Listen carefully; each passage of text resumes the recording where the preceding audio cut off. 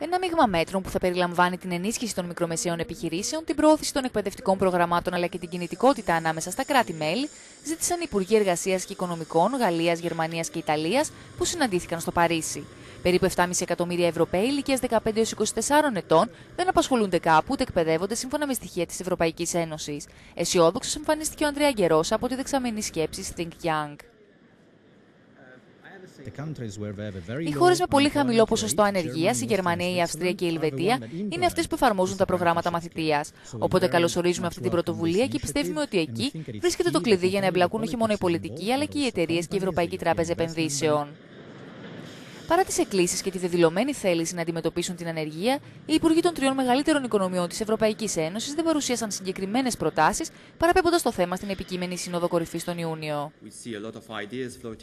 Βλέπουμε πολλές ιδέες να κυκλοφορούν τριγύρω, πολλές από τις οποίες αποτελούν προτάσεις που η Κομισιόν έχει προτείνει εδώ και 18 μήνες, αλλά είναι καιρός να εφαρμοστεί ότι έχει ήδη συμφωνηθεί από εκπρόσωπος της Επιτροπής Ολιβιέ Μπαϊγή.